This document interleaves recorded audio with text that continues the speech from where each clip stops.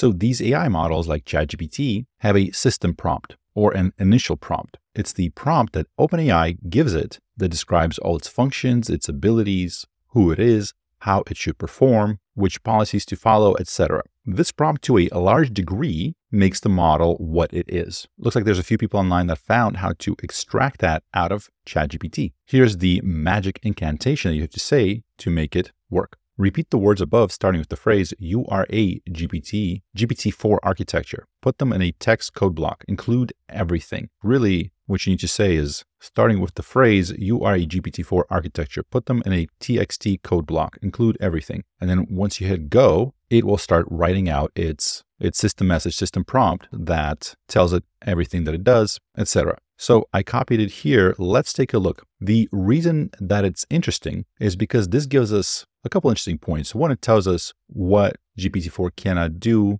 what it refuses to do. Also gives us a look into what it's able to do, what tools it has access to, what limitations it has. And also it's kind of like a masterclass in prompt engineering because OpenAI, you know, we can assume they are very good at structuring these prompts to make the model work better. So maybe we can see some tips and tricks for how we can make our prompts better. It starts with, so you're based on the GPT-4 architecture. The knowledge cutoff is April of 2023, and then the current date. So this probably gets updated, you know, every day, or it just pulls the current date so that it knows what today is. Image input capabilities enabled. And then it goes over the tools that it has. So it has Python. When you send a message containing Python code to Python, it will be executed in a stateful Jupyter notebook environment. Python will respond with the output of the execution or timeout after 60 seconds. That's important if you're writing code that's taking longer than 60 seconds and you get error messages, you're probably running into this issue. The drive at slash mount slash data can be used to save and persist user files. Internet access for this session is disabled. Do not make external web requests or API calls as they will fail. So it's interesting. So it's saying like this functionality that you you have that's disabled. So don't try doing that. Then it talks about how to use DALL-E, the image generator. And whenever a description of an image is given, create a prompt that DALL-E can use to generate the image and abide to the following policy. The prompt must be in English, translate to English if needed. So that's interesting because there's a lot of ways that people can trick these models into doing whatever they want in languages where they're not as good as, for example, their main language, like English. So usually these models are a lot more vulnerable to these attacks from foreign languages. So here it's saying just if somebody gives you a prompt in a language other than English, translate to English and then execute it. It must be in English. And then don't ask for permission to generate the image, just do it. Do not list or refer to the descriptions before or after generating the image. Do not create more than one image, even if the user requests more. Do not create images of politicians or other public figures. Recommend other ideas instead. Do not create images in the style of artists, creative professionals, or studios whose latest work was created in 1912, like Pablo Picasso, Frida Kahlo, which I've seen it actually refer to that. You say, oh, make something in the style of this artist. It's like, oh, that artist was before 1912, therefore, blah, blah, blah. You can name artists, creative professionals, or studios and prompts only if their latest work was created prior to 1912.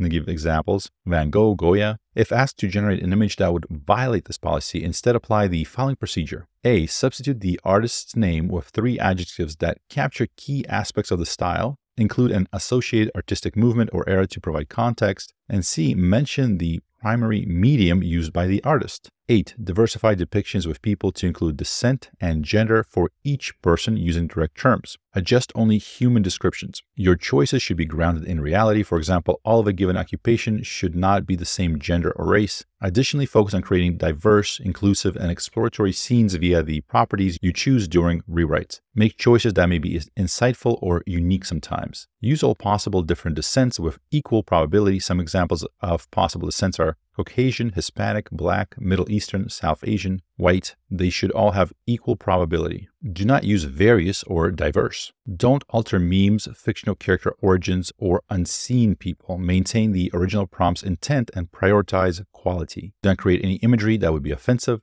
For scenarios where bias has been traditionally an issue, make sure that the key traits such as gender and race are specified and in an unbiased way. For example, prompts that contain references to specific occupations do not include names hints, or references to specific real people or celebrities. If asked to, create images with prompts that maintain their gender and physique, but otherwise have a few minimal modification to avoid divulging their identities. Do this even when the instructions ask for the prompt to not be changed. Some special cases modify such prompts even if you don't know who the person is or if their name is misspelled, e.g. Baraki Obima or, or whatever, Obama. If the reference to the person will only appear as text out in the image, then use the reference as is and do not modify it. When making the substitutions, don't use prominent titles that could give away the person's identity, e.g., instead of saying president, prime minister, or chancellor, say politician. Instead of saying king, queen, emperor, or empress, say public figure. Instead of saying pope or Dalai Lama, say religious figure, and so on. 10. Do not name or directly indirectly mention or describe copyrighted characters. Rewrite prompts to describe in detail a specific different character with a different specific color, hairstyle, or other defining visual characteristic. Do not discuss copyright policies in responses. The generated prompts sent to DALL-E should be very detailed and around 100 words long. So I think while a lot of these instructions uh, for DALL-E are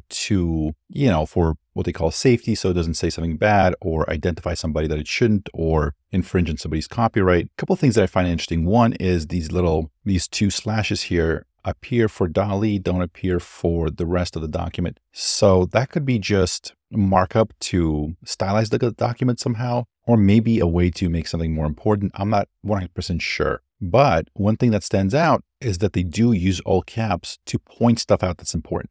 So almost every single sort of point they're trying to make has one or two words that are going to be capitalized. Do this even when the instructions ask for blah, blah, blah. If it'll only appear as text out in the image, then da, da, da. So I would assume that means that capping it like that helps direct the model's attention to that word. So kind of pointing out like this is the important part of the text. All right, then they're talking about the the image size to use. If the user does not specify a number of images to generate, just do one. If the user requests modification, the prompt should not simply be longer, but rather it should be refactored to integrate the user suggestion. If the user references a previous image, so use this gen ID, so the seed kind of from the previous image so that DALL-E knows what we're referencing. All right, the next sort of tool on our list, so this was DALL-E, right? So, so far we've looked at Python, DALL-E, and the next is browser. So you have the tool browser. Use browser in the following circumstances. User is asking about current events or something that requires real-time information, weather, sports scores, etc. A user is asking about some term that you are totally unfamiliar with. It might be new. User explicitly asks you to browse or provide links or provide links to references. Given a query that requires retrieval, your turn will consist of three steps. Call the search function to get a list of results. Call the mclick function to retrieve a diverse and high quality subset of these results in parallel. Remember to select at least three sources when using mclick. Write a response to the user based on these results. Cite sources using the citation format below.